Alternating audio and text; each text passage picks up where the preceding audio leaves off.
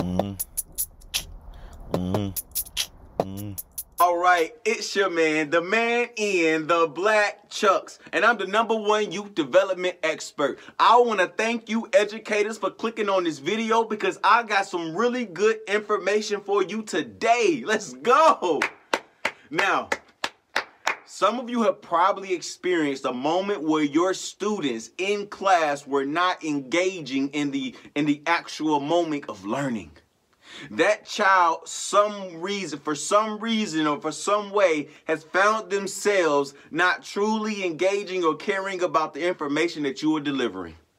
I'm going to tell you this one tip that is going to change the trajectory of that child and how they engage in your classroom. Now hold tight all right, here it is. Look, it is very important that you take the time to greet them as soon as they come into the classroom.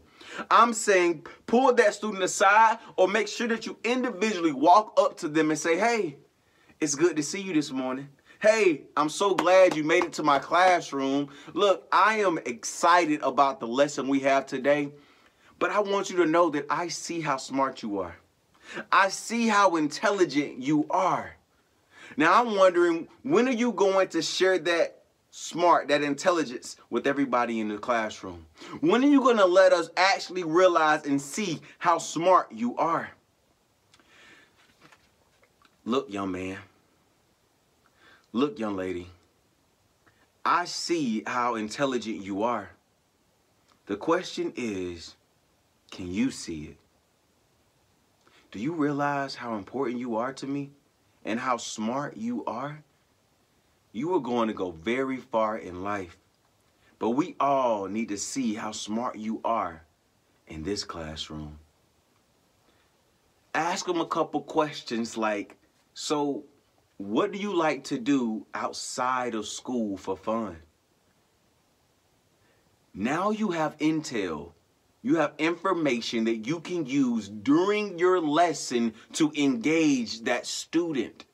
You now have done some research and you're building credibility with that young person by engaging them with topics and information that they have shared with you in order to keep them engaged in the classroom. In order to get a young person to engage with you, they got to feel like they know you. Some students are walking around feeling like nobody actually cares about me. Nobody even truly knows my name or anything about me. They just want me to take tests, they want me to read books, and they want me to turn in my homework assignments on time. Well, you know what? I don't care to do those things. I know you don't care about me because you haven't even asked me how I'm doing today. See, that small little gesture is going to allow you to build some relationship with that child. Now, when they come to your classroom, they want to engage with your work, with your lessons, because they want to hear you tell them that you're proud of them. They want to hear that you tell them that they're smart, that they're intelligent. All of us love to hear good things about us, but sometimes we don't want to do the work to get it. But a lot of times, these young people, they need a little bit of confidence in the classroom setting in order to know that they're doing something, just one thing right. Be that person that gets them engaged because they love to come to your classroom, not because they have to come to your classroom. It's the man in the black chucks. And I'm the number one youth development expert. And educators, I want to thank you so much for coming in and watch this video. Stay tuned for the next opportunity to build up your students. Let's go. Mm-hmm.